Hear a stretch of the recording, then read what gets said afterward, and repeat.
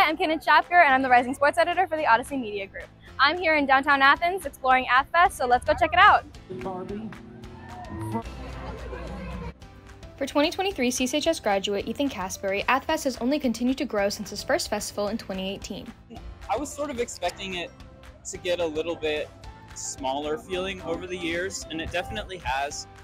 But just last night, I saw like four or five incredible shows in a row. So AthFest just keeps on giving.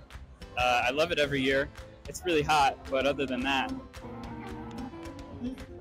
for local artist Jamie Calkin, the festival has served as an ideal showcase for both established and growing Athens artists. This, this is what I tell like new folks is like 98% of my work's done.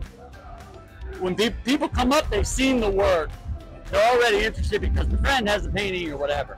When I do a, a show where I, people don't know my work, it's a hell of a lot harder.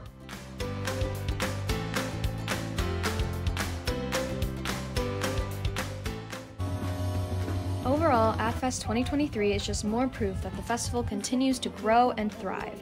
This has been Cadence Schapker with Odyssey Online.